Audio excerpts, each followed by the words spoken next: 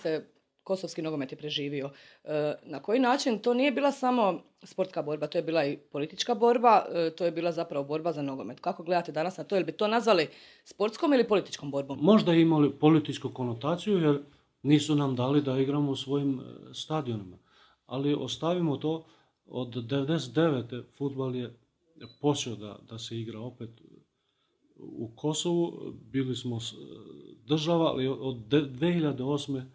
primorani smo, u stvari nismo nam, nisu nam dali da se primimo u UEFA i FIFA. Izgubili smo osam godina bez ikakvog e, sportskog razloga. Bio je jedan legalni problem, ali na kraju je sve, to, sve se to zaboravlja i najveći korak u istoriji futbala je načinjen kad smo primili u, UEFA u FIFA. Kosovo danas ima zapravo tri reprezentacije, ne jednu kad pogledamo sastav reprezentacije Albanije i Švicarske. Imate li naznake da će neki igrači ipak e, doći igrati za Kosovo? Pa u stvari većina igrača e, vole Kosovo. I, i, i Albaniju i, i Švajcarsku. To bi bilo nepravedno u sportskom smislu. Međutim, posebno u Švajcarske i Albanije moraju da razume da oni trebaju da pomognu futbolu Kosovu na- nakon ovih 16 godina izolacije. E, Mnogo od tih e, zvijezda, igrači koji su u inostranstvu, na klubovima ili na drugu reprezentacijama, e, svi su jasno pokazali da želju da budu ili da pomognu Kosovo na svim aspektima. Možda ne ako ne dolazi da igraju, hoće da pomogne i svaki put su pomogli. Kao što je, na primjer, Šačiri, Đaka i ono drugovi, svaki put koji dolazi donese lopte, dresovi i to sve druge stvari za, da, da pomogne klubove. Na utakmici protiv Haitija, na primjer, smo vidjeli puno i albanskih zastava i kosovskih zastava. Pa da, albanska zastava je nacionalna zastava, to se ne može zaboraviti, ali i zastave, naša zastava je državna zastava. I, I treba da se naučimo da respektiramo našu državu jer je mnogo krvi proliveno za tu zastavu. A što kad bi igrali Albanija i Kosovo, na primjer? teško se e, da ti objasnim, jer e, mislim da e, su više ljudi, oni mladi ljudi koji su rođeni e, u zadnjim godinama, vole su više Kosovo, jer e, rođeni i, odrasli na ovom periodu. Su više stari ljudi vole Albaniju, jer to je, na primjer, mi smo se živjeli na, toj aspekt. Ali mislim da ima suviše navijača i za obojicu reprezentaciju.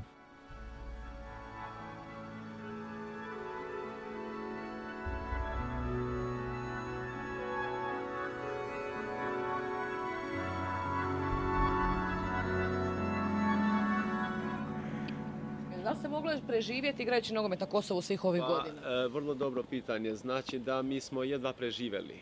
Znaš, e, teško je bilo da nađeš sponzora kad nisi priznat u UEFA i FIFA. Znači da ljudi su dali e, što se tiče para iz džepa, što, što je vrlo teško, nisu imali nikakve primanje unazad. Znali smo da smo igrali na, na travima, nismo imali naše stadione, sve je bilo okupirano, ali nismo, nismo nikako stajali. Tako da je bio vrlo, vrlo teško da, da se podrži futbal u Kosovskom ligu.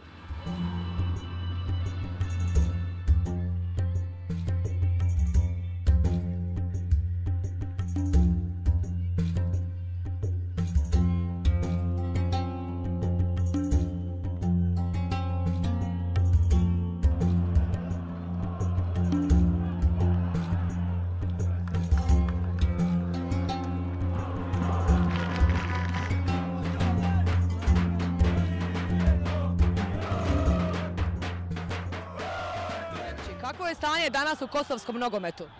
Pa kako da vam kažem, svake godine ide po, na, bolje ide. Ove godine još bolje to što su primili na UEFA i u FIFA. Mislim, sad će, mislim, narod to uvek vole u futbal i gledaju futbal, naročito u Mitrovicu, a mislim da će sad i grad, opština i sve to e, malo više pažnju dati prema futbalu.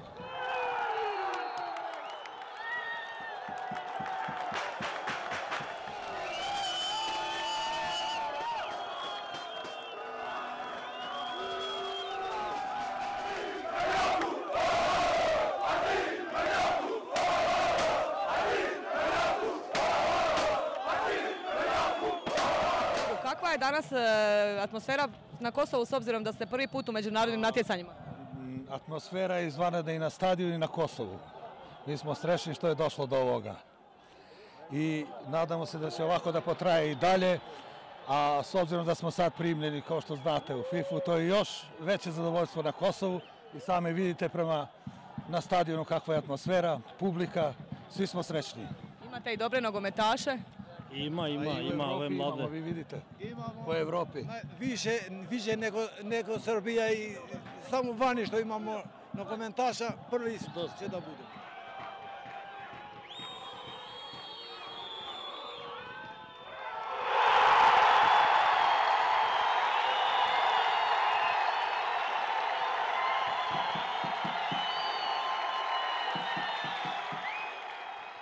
Imamo dosta kvalitetnu reprezentaciju. Sad zavisi da vidimo da li hoće doći ovi igrači što igraju za druge reprezentacije.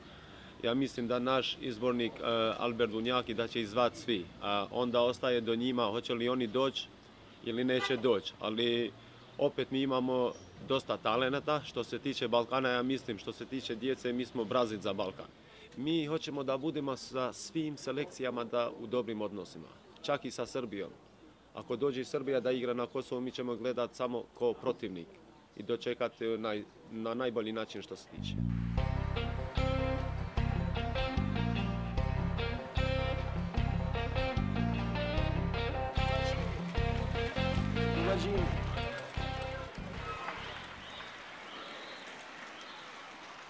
Mitrovici e, igra reprezentacija Kosova svoje utakmice u južnom dijelu. Kakva je tada atmosfera u sjevernom? Po najčešće kroz medije to ne prođe kao informacija. O Srbiji su, za razliku od Albanaca, malo drugačiji. Oni slušaju samo srpske medije. Albanci hoće da čuju i srpsku pesmu, vole oni cecu, pa vole i kod vas u Hrvatskoj.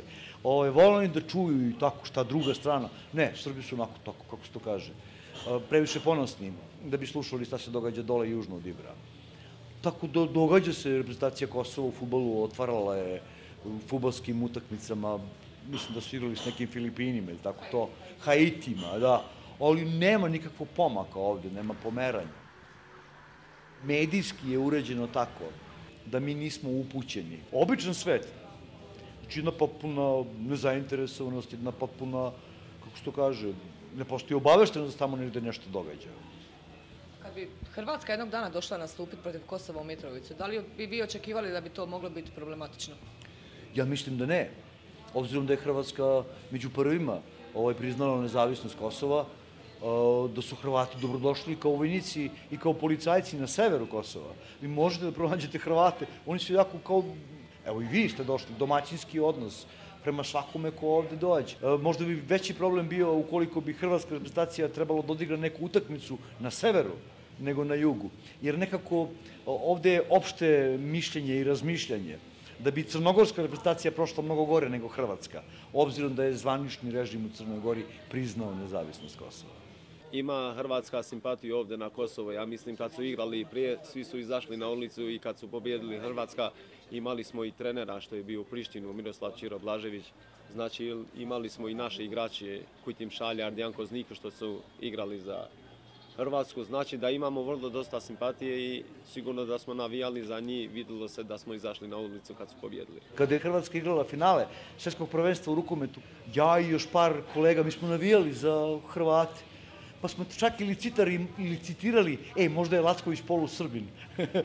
Jer nekako su nam Hrvati bliži nego, pa smo imali problema s Mostađijama. Ej, vi navijate za Hrvate. Da, navijam za Hrvate. Međutim, nema tog animoziteta u toj meri ali je princip vrlo jednostavan. E, jako je opasno e, pred svojom zajednicom iskazivati tako, e, da tako kažem, liberalne stavove. Politika priča neke, pri, ima priča o, o politika što priča nego što narod, narod nema šta, narod vidi da mora, mora se živjeti zajedno i vremena treba, e, čovječ, ovaj deo tu danas što igra Kuba, na primjer Drenica, to je narod koji najviše ispašta. Razumeš, nema sela da nije, da nije bilo izgoreno i sve to tako. I narod možda nema porodice koje nije nekog izgubio. I sad ono pomirenje ide polako, polako. Ne, ne, može to sve odjedno. Potrebno je vreme da se to, na kraju krajeva, sport bi možda najbrže i približio ljude, ali ono što će rešiti, najbrže ublažiti animozitete između zajednica, jeste zaposlenje, jeste ekonomija i jeste izvesnost za budućnost moje dece u ovom gradu.